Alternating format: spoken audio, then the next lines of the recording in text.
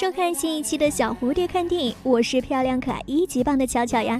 今天给大家讲一部一定要看到最后的高分心理悬疑片《恐怖游轮》。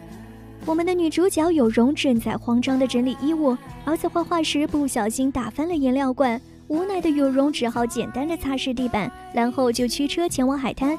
因为儿子耽误了登船的时间，所以有容开车的速度比较快，还好最后赶上了朋友的小船。好友保罗关心他是不是不舒服，要不要改天再出海。有容说自己能行，便上船了。同行的还有一对带着表妹上船的小夫妻，以及比较强壮的阿伟。就这样，六人组便出海了。疲惫的有容上船就睡下了。期间，他梦见自己躺在沙滩上，然后就被吓醒了。与此同时，阿伟告诉保罗，他发现有容有点不对劲，因为上船前他问过有容怎么没带孩子来，有容竟说自己忘记了。然后犹豫了二十秒，又说在学校。可今天是周末，学校不上课，这让两人疑惑不已。之后大家开始谈谈心，喝喝酒，扬扬帆。可没过多久，乌黑的云层朝着小船飘来，糟了，暴风雨要来了！吓得保罗立即联系了海岸警卫队。由于信号不好，转台了，对讲机里传来了求救声，隐约听见“救救我，他们都被杀死了”的消息。此时暴风雨呼啸而至，来不及多想的众人开始收帆。尽管阿伟速度很快，但小船还是被无情的暴风雨给掀翻了。事后大家游回了底朝天的小船，但小表妹却突然消失了。众人等了许久都没见表妹回来，反倒等来了一艘巨大的游轮。故事正式开始，众人原本看着游轮上有人站在那，可上船后却找不到人。此时有容感觉自己上过这艘游轮，然后大家便开始找人。这么大艘游轮，不可能一个人都没有吧？找着找着，他们就找到了这艘游轮的来历。Aeolus. Aeolus was the great god of the winds and the father of Sisyphus, man condemned by the gods to the task of pushing a rock up a mountain only to see it roll back down again. That's a pretty shitty punishment. What'd he do? He cheated death. Or no, he made a promise to death that he didn't keep. I studied it, but I can't remember. Can we just keep on moving, please? 忽然过道里有一声响，然后胆大的阿伟前去探探情况，原来是一串钥匙掉落的声音。有容看见钥匙惊呆了，这不正是自己的钥匙吗？上面还有自己和儿子的照片。众人以为是表妹拿了钥匙上了这艘游轮，于是就开始找表妹。找着找着，来到了一个舞厅，这里还有新鲜的水果，看起来是要开一个派对。阿伟看着墙壁的时间，问保罗的手表几点了。保罗说十一点半了，可有容的手表却和墙壁的时间一样，八点十七分，这就奇怪了。然后有容看见背后有个人影，于是速度极快的阿伟就追了上去。过了一段时间，大家见阿伟还没回来，好兄弟保罗就去寻阿伟，有容也跟了上去。然后就发现玻璃上写着的血字，但保罗却没有多想，以为是恶作剧而已。有容则不这么认为，便自己去调查。随后夫妻二人也在过道发现了血迹，跟着血迹来到了剧院，但这里也没有人。而有容则回到了舞厅，他发现桌上原本新鲜的水果全部腐烂了。突然阿伟回来了，他虽然受了重伤，却还想掐死有容。好在有容爆发了一个反手杀下去，阿伟死了。与此同时，剧院传来一阵枪声。赶去的有容发现小夫妻的丈夫也死了，而他老婆说是有容开枪打死的。有容百口莫辩。突然，枪声再次响起，有容好不容易逃到外面，却被蒙面凶手给打倒在地。正当杀手要开枪时，有容再次爆发。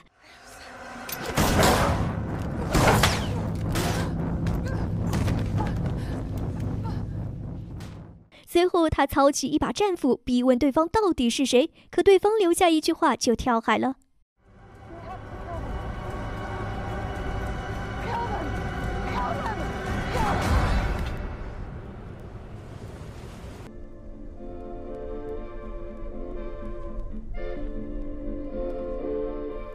此时，游轮上响起一首恐怖童谣，然后又传来一阵呼喊声。这不是自己的队友吗？甚至还有一个一模一样的自己。游荣瞬间就懵逼了，这到底是怎么回事呢？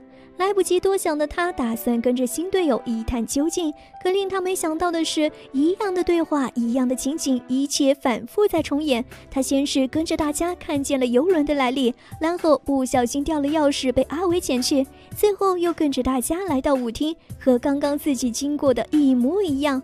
惊讶的有容找到阿伟，并告诉阿伟带大家赶紧下船，不下船大家都会死的。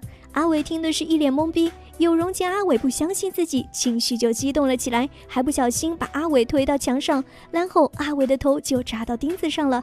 吓傻了的有容立即跑进游轮内躲了起来，还看见了一地的纸条，上面写道：“必须杀光所有人。”对比自己，这真是自己写的啊！可自己为什么会写这么多呢？他看了看衣架上的衣服，突然想到门面杀手的叮嘱，结合纸条上的话，他开始绞尽脑汁的思考。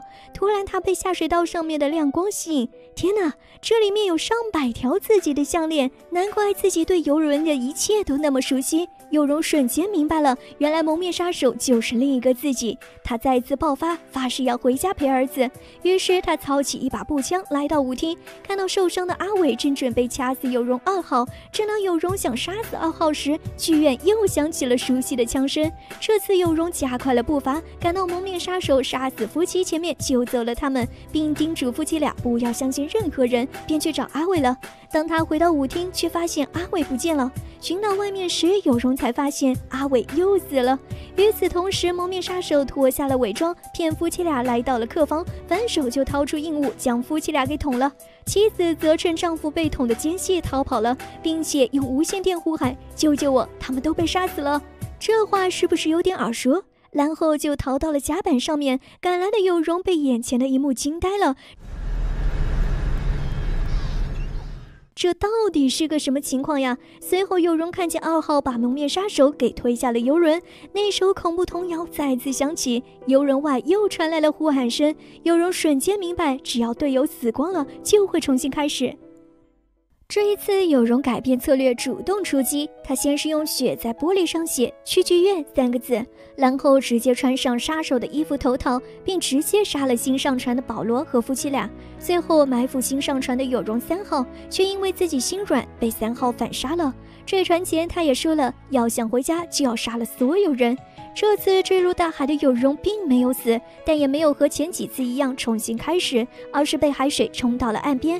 这一幕是不是也很熟悉？醒来后的有容来不及多想，一心想回到儿子身边。他一路小跑上百里路，终于到了家门口。他看见自己的儿子正在画画，可儿子看见他却吓了一跳，还打翻了颜料罐。此时有容怎么也料不到，家里还有另一位自己。家里的有容四号十分暴躁，上来就抽了儿子一个大嘴巴子，后又开始擦地板，看得有容心痛且愤怒。于是他再次操起一把战斧，冲进屋就把四号给剁了。这女人狠起来，连自己都不放过，并且这一幕恰好被儿子给看见了。安慰儿子后，便把四号的尸体放入后备箱，还带上了对方的项链，载着儿子赶往码头。由于耽误了时间，车开得有点快，并且半路撞死了一只倒霉的海鸟。当有容捡起海鸟准备丢掉时，可怕的一幕又发生了，他还是没有摆脱这该死的循环，这让他后背一凉，赶紧驱车离开。路上，儿子对着海鸟的鲜血一直苦恼，有容一边回头安慰儿子，一边加快车速，车子一跑偏就被撞。飞了，在空中反转六圈半后，儿子不幸身亡，后备箱的尸体也飞了出来。当路人都赶来抢救伤者时，站在远处的有容却屁事没有。此时，一位出租车司机走向有容，并说道：“孩子没救了，没有人能阻止死神带走他。需要我载你一程吗？”有容犹豫一番后，便让司机载他去码头。到码头后，司机又说了一句奇怪的话：“我不关机假期，你还会回来的，对吗？”有容说：“是的，我会的。”下车后，他先是遇见了阿伟，问他怎么没带儿子来，他还是回答在学校。然后保罗也问候他，一切又和电影开始一样，有容再次陷入死循环。故事在六人再次出海的镜头中结束。最后，我想可能有的小伙伴没有看懂，但你先别着急喷。没看懂的小伙伴建议去看看原片，因为这部恐怖游轮的导演明确说了，这部电影没有结局的，就是为了让观众反复品鉴这种循环剧情的精彩。而整部电影主要就是讲女主违背对死神的承诺，一次次想通过循环去救儿子，但最后司机也说了，没有人可以阻止死神，也就是说，司机其实就是死神。而最后，死神问女主：“你还会回来的？”显然，女主并没有回去，她违背了承诺，一去不回。于是有了后面的降罪，她陷入无限的死亡循环和炼狱轮回。并且片中很多细节证明了女主已经死了，进入了噩梦循环，比如停止的时间，以及二三七客房和女主家门牌号一样，还有新鲜的水果，只有大家在的时候是新鲜的，而女主一个人的时候是腐烂的，等等很多细节都证明她死了。如果你感兴趣的话，真的推荐你去看看原片，很多细节等你去探索。